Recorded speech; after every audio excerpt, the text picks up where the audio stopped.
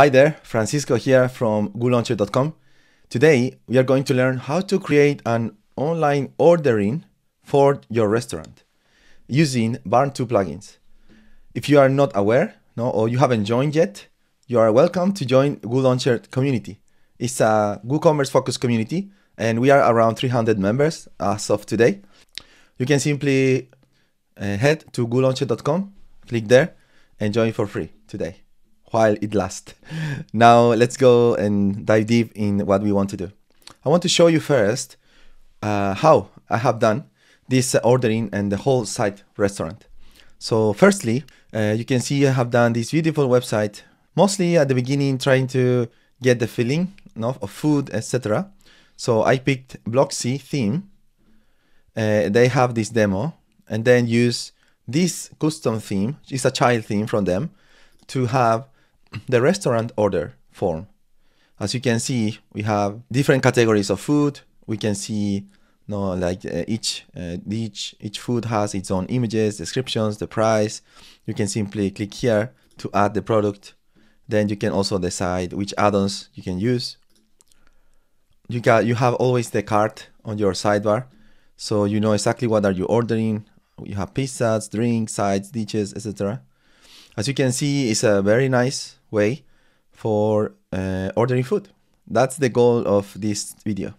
There are a few options here, no? For instance, we can have uh, the my product, its future image. You have add-ons. Also, you can have at the end uh, delivery slots for the order. Then we can go to the checkout. Uh, you can see the breakdown here. Then go through the checkout and done. Right? But how do you do all this? That's that's the question. So we want to check that today. So let's start from scratch, okay?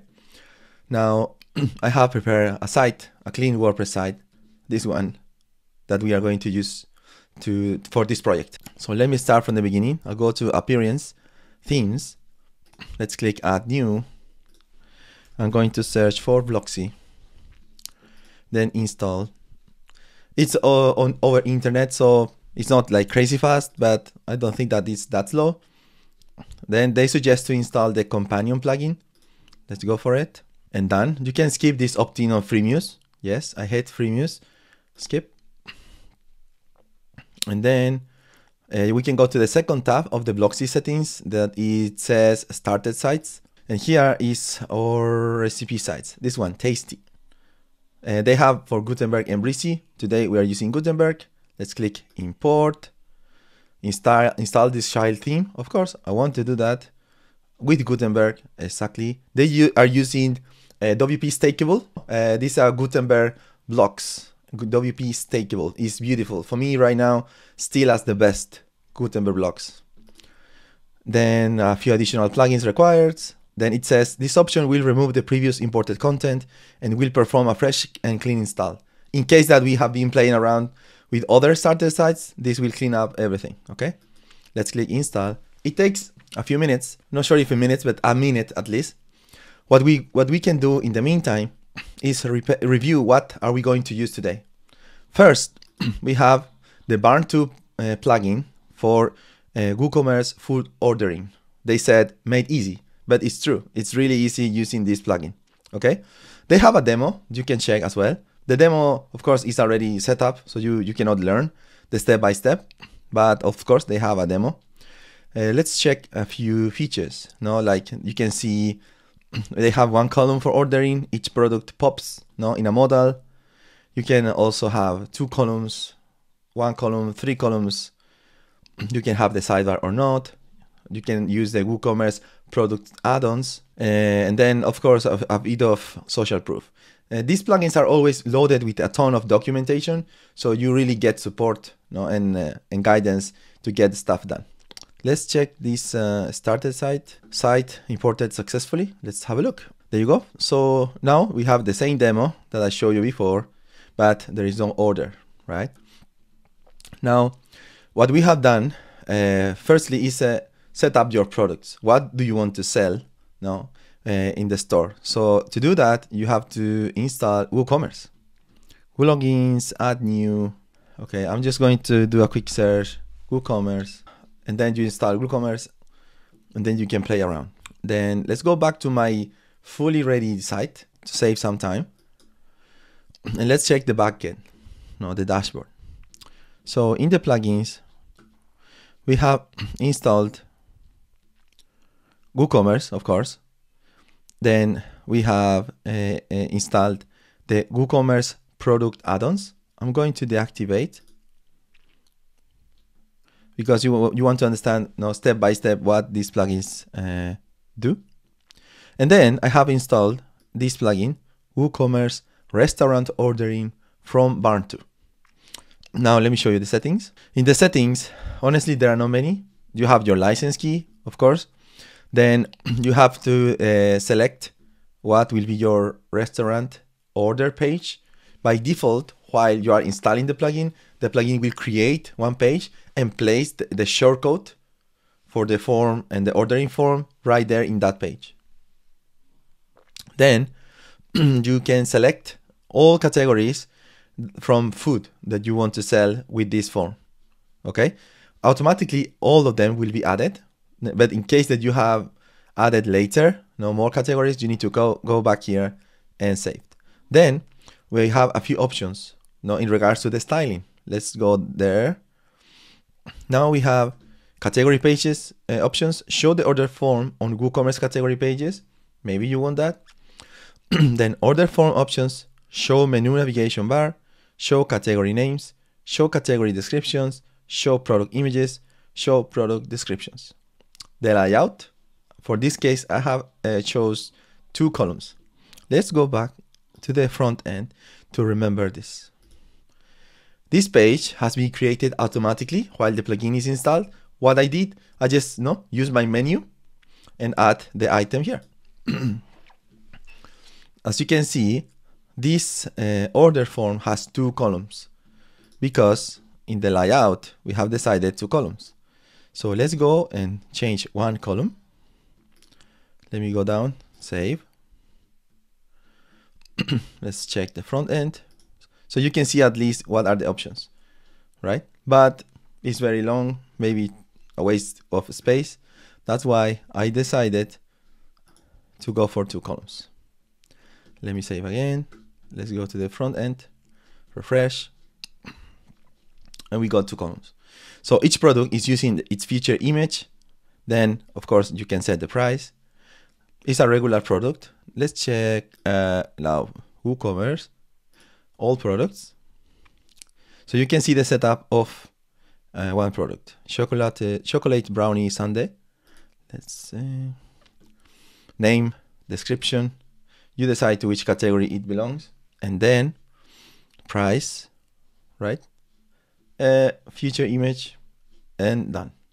So there is nothing special. It's a regular product created with WooCommerce. Now, by default, you don't have this card on the sidebar. No, in, for this case, it's like very helpful. Plus, Blocksy has uh, a feature for sticky sidebar. So for ordering, is really like perfect. now, how I did that? Let me go there. So what I did was use the customizer. Then I went to sidebar. I chose uh, the option type 4 that includes sidebar on the right. Then I scroll down and went to widgets. You have now my sidebar.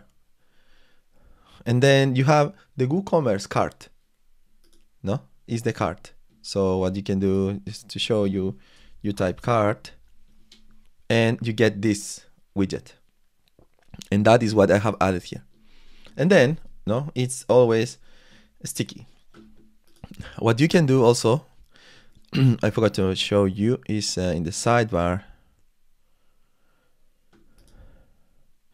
you have this one, sticky sidebar.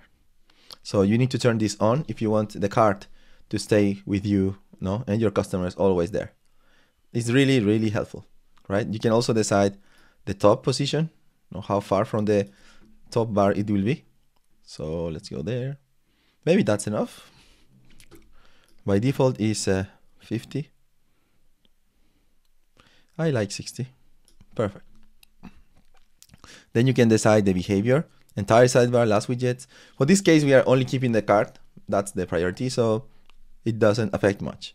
And then publish, and you got the restaurant restaurant order form with the cart on the sidebar.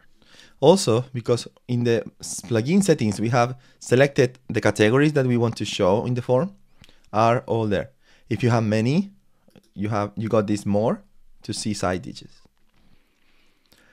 Now, which which options the plugin has for customers, for end users? Let's say be barbecue chicken, click this, and now as end user, no, we are going to see product image, title, information, and these are add-ons. No, like okay, one more 505, uh, two more 10, then you decide how many, and then add to the cart. And then you get this notification, no, like the product has added to the cart. Also, you can see it here. It's not a big problem, right? Also, there are uh, main courses like pizza. No, you can add pizza. Then I think that we have the margarita. I'm trying to find one with a few options. Okay. now, olives. Let's open olives. Even uh, as a add-on, you can use fields to show additional information like calories. Now, so a few people might be interested to, to learn more about the product. Now, let's go to the backend and check the plugins. uh, now, I'm going to turn on the plugin WooCommerce product add-ons so let me open it here so you know what we are talking about. this one is product add-ons from the WooCommerce marketplace. It costs $49, but is really powerful. It can help you with a radio, you know, radio buttons or drop downs uh, for add-ons to your products. Okay, so let me turn that on. Activate. Let me show you how they are using it here. So in the integrations of the product, for the pizza margarita, for instance, you can see what is the base. Okay, traditional. And then extra toppings, double cheese, and chicken. So this is the best way to use the product add-ons plugins for food ordering. No, and then add. This is the, the best uh, integration. And Barn2 plugins this ordering plugin integrates perfectly no, uh, with the product's add-ons. Now, there is one more trick that you can do uh, that uh, you can set also uh, on kind of the schedule for your restaurant. Let me show you that. So, uh, opening hours. If we click this one, then we can decide no, during which times your restaurant is going to be open. Most of the restaurants start uh, midday or 11 a.m. and closed maybe 8 p.m. or 9 p.m. Let's say 9 p.m. And then you can also do the same for the rest. And that will prevent orders done you know, on, on times where your your people are not able to, to attend no or to, to, to receive orders. Then save changes uh, and if someone wants to order something during the time, it will allow them or disallow them, right? Let's say uh, we have done the, the setup of the of opening hours, but we haven't done no uh, hours for Friday. So when I'm trying to buy, it says sorry, the restaurant is now closed. So if I go back, no, and include uh, times for Friday, we are going to get that fixed we should. So let me refresh now. Exactly.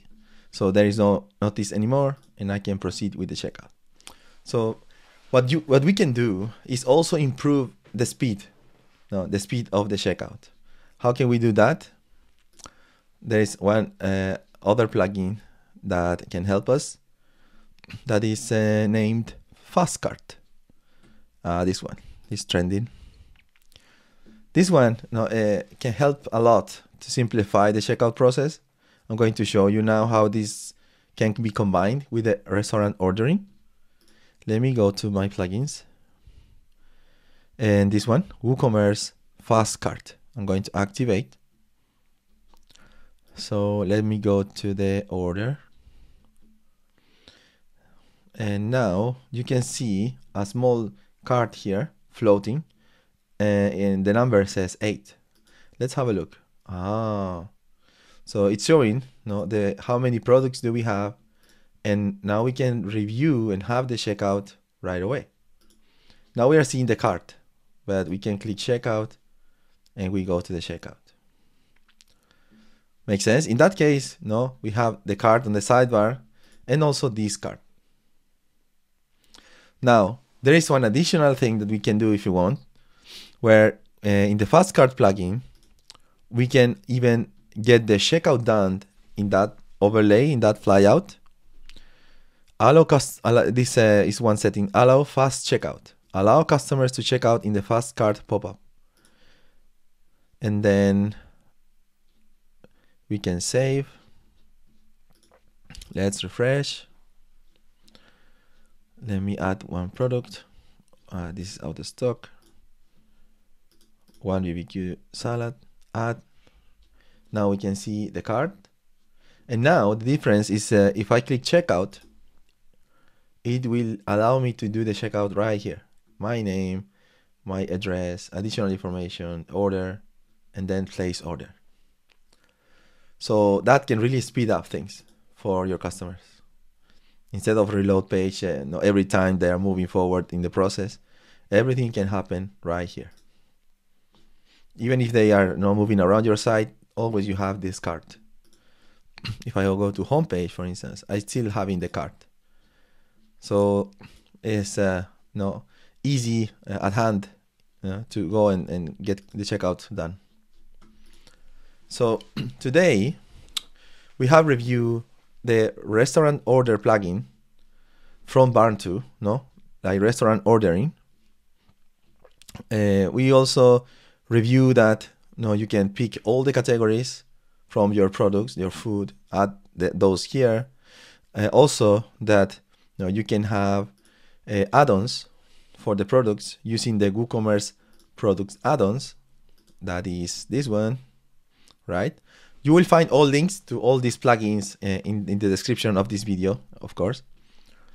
And then we also uh, learned about FastCart, right? So we learned about the FastCart plugin and how the FastCart plugin can enhance the experience that your customers has during no the ordering so everything can be like kind of speed up so let's say people come to you know your order form and they and they can do the whole process in one page. There is no jumps. There is no moving there refresh reload nothing. Everything can be done right here. How cool is that? Amazing right? Well that's it. Uh, i want just to you know give a shout out to the Barn2 plugins team because uh, they provided uh, even you know, the products that contains the the add-ons and all the stuff already set up. So I just simply import that in, into my demo and done. If you remind the if you can, if you reminded uh, we ha we have used Blocksy theme as well, and uh, this is one of the their starter sites. Uh, beautiful for kind of food topic. So you can always have a look. No. If you have any questions, just uh, let me know in the comments. I'm happy to reply. Uh, if for any reason I'm not fully aware, I will check with the team and come back to you with an answer. Uh, that's it. Thank you for your time.